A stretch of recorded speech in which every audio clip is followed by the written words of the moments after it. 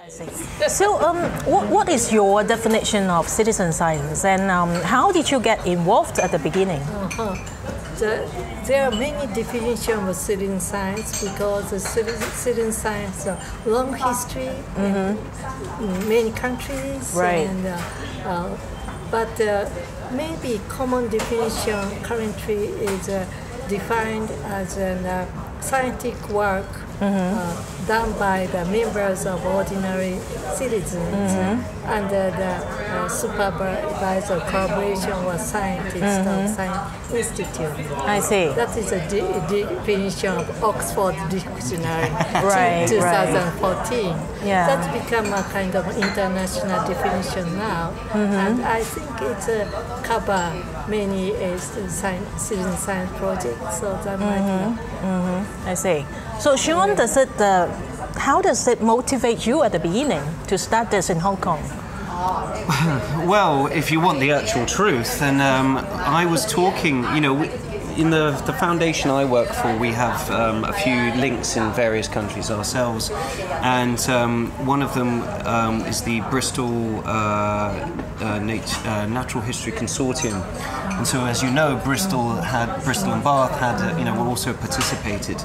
So I was talking. We just finished a project, and I was skyping the Matt Postles from uh, from Bristol, and he said, um, I flippantly asked him, I was like, "So what's next?" And he goes, "Have you heard of the City Nature Challenge?" And I'm like, "No." What is that? And so I immediately, um, you know, looked into it and thought we could do well on this. You know, I think you know this is a great opportunity to get more people involved in biodiversity Right. and uh, you know being more aware being more engaged and we love the idea of iNaturalist and so it was natural to us to sign up you know but uh, unfortunately of course uh, Bristol lost um, you know I mean we beat Bristol of course uh, but um, you know we're you know obviously everyone you know did exceptionally well and can only move forward you know with all the other cities so yeah I see, yeah. so, you share the, the three strategies for success with us. Yeah. What are they? So, um, for uh, you know, for the way we worked in Hong Kong, we're kind of a, a bit lucky because the government have just released, you know, a couple of years ago, the government released a biodiversity strategy and action plan. A government policy, and a big part of that is community involvement in biodiversity. So, like awareness, engagement, monitoring, all things citizen science actually fits nicely into. So we use that as a crux in which to actually, you know, get other organisations to actually support, you know, what we Right. were trying to do. So we worked with a lot of NGOs, so WWF, the Nature Conservancy, EcoBus, the uh, Caritas uh, um, uh, organisations, and we just said, just all you have to do with the City Nature Challenge is download iNaturalist and take a picture. That's pretty much it. So we got them involved. We also got uh, schools and universities involved. So you know, most schools learn about ecology anyway. So this was a fantastic way to give them an extra lear- other learning experience, you know, um, through this competition.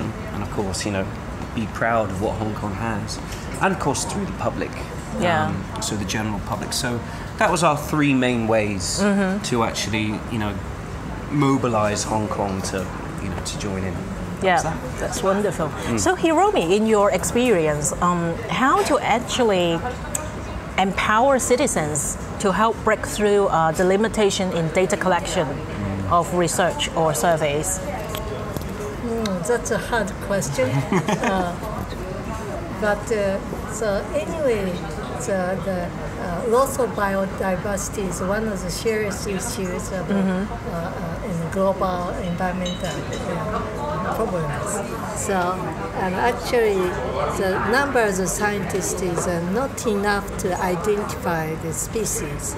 So actually, 84% of the living creatures in this planet has no names.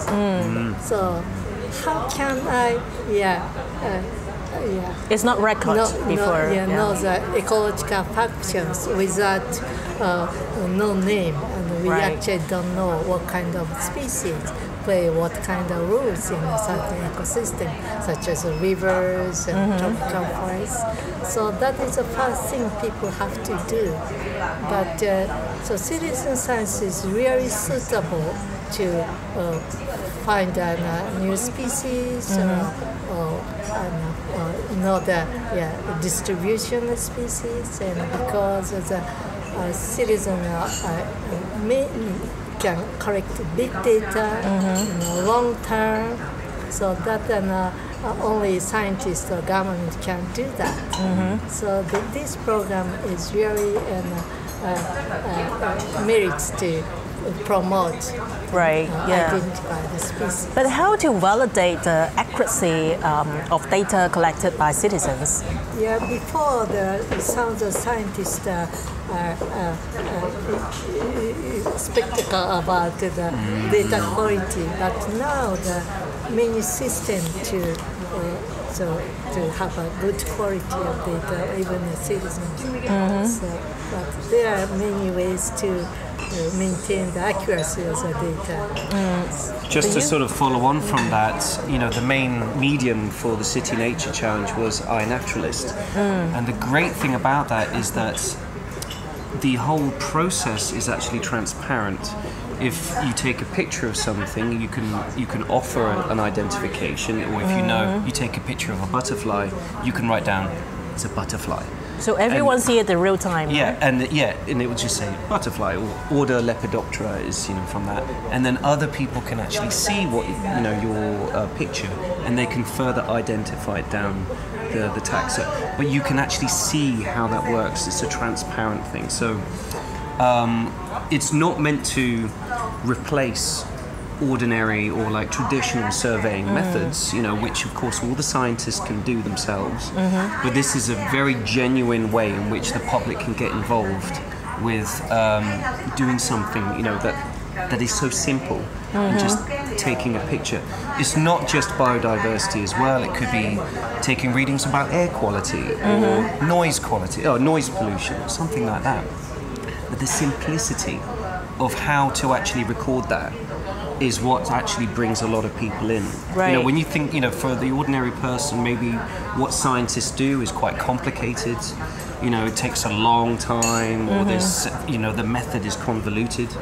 But for, for ordinary citizens to, to get involved, sometimes it's just a touch of a button, mm-hmm. and that's it. So something very simple and fun. Yeah, exactly. You know, and of course, you know, Yeah. the data can then be further scrutinized. You know, it's not going anywhere. It's it will always be there to. You can build on it. Yeah, absolutely. Let's see. AI tells an uh, yeah, participant what kind of species and uh, in your iPhone the list of the species of the candidate uh, listed. Let's Yeah. see. They can choose. So even the people don't know the name, they just uh, uh, click and uh, It in, suggests, just yeah. an, uh, uh, an, uh, 24 hours or, I see. or, uh, yeah, email. So it's actually very quick, citi- yeah, citizens yeah. empowerment as well, right? Yeah. So I, I have a question particularly about Japan because uh, citizen science started long time ago in Japan. What, what do you think are the cultural factors that enable it? So anyway, Japanese are now like nature very much, and Japanese also like recording. And actually, maybe Japan is a long, uh, oldest record of cherry blossoms. Uh, that is starting uh, uh, 100 to 200, 1,200 years ago. And it's, it's uh, one of the scientists. Uh, see the data from uh, uh, 1,200 years ago when the blossoms uh, festival was held. And uh, he calculated the temperature in this 1,200 years. And uh, he found out the temperature increased rapidly after the 18th century. And, uh, uh, the, and the, highest temperature in the last um, 120 years. So, so Japanese like um, uh, recording, and also we really uh, enjoy the changes of seasons. Now we have only four seasons: spring, uh, spring and uh, summer, autumn, winter. But uh, traditionally they have a 72 uh, subdivision of species that is Mm-hmm. consists of five days. Maybe it's come from uh, China. Every Maybe five China days? have a Okay. uh, same. Uh, we call it Japanese calendar, but Oh, original I from. China. Okay. Uh-huh. So maybe you also have a yeah same calendar. So in, in each 72 subdivisions, Mm-hmm. people select uh, typical and uh, environmental changes such as the weather Mm-hmm. or, or uh, the bird, uh, uh, animals and plants.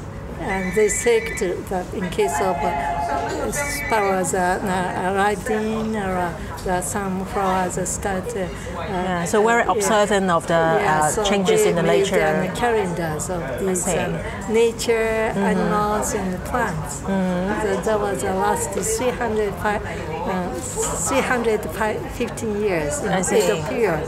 Yeah. So we didn't, we don't have such a calendar anymore. But I tried to make a, a current uh, Japanese calendar, and this data can use how the temperature increase uh, affect the I see. phenology. Phenology is the timing of uh, yeah I see. animals or plants behavior. So this kind of all data is really important. So, but one of the uh, weakness of the Japanese is mm-hmm. good at recording, mm-hmm. but not well analyzed. Mm-hmm. yeah. So that's uh, as a science I'm doing and I see. using this variable data. What what other challenges do you see or foresee in the future case development of citizen science? City nature challenge. Language is the biggest barrier. Okay. So that is uh, made in U- US. So most Yeah. Japanese are uh, not good at the English. And uh, there is a, in, a Japanese translation Google, but that is not enough. And then uh, organizer of the citizen science provide many good materials for the teachers and uh, organizers and uh, manuals. But for me, it's difficult to translate it, everything. So what I did is just make a simple Japanese manuals, how to register the iNaturalist, how to take a good photos to be identified. So I see. that's it might be the big difference between Hong Kong and Japan. Yeah, How about we are you? a bit lucky here. You know, you know, English is obviously you know a big part of um, you know Hong Kong, uh, Hong Kong life here. Um, so yeah, we but we also we've used iNaturalist before the City Nature Challenge. We used it in certain bioblitzes, and we were actually able to to translate most of it and work with iNaturalist in order to sort of get the traditional Chinese sort of involved. Hopefully, some point we can get the Japanese involved as well. I really hope so. Yeah, I hope so too. Yeah. Okay, thank you. So enjoy your time in Hong Kong. you. Thanks a lot. Here. All right.